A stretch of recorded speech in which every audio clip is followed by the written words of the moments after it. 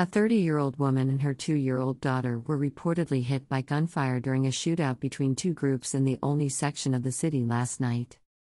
A report from 6 ABC Action News said the shooting happened on the 100 block of Albanus Street at around 8 p.m. on Wednesday night. Police said the two year old was shot one time in each leg. The mother was shot multiple times, including once in the head. Both were rushed to Einstein Medical Center. The baby was last reported to be in stable condition. The child's 30 year old mother was last reported to be in critical condition. The mother and daughter are believed to be innocent victims who were caught in the crossfire of a shootout between two groups. She was sitting on her porch with her two year old. We believe they both were innocent victims, as sad as that is, said Deputy Commissioner James Kelly. Police said they recovered weapons at the scene and a person of interest has been detained.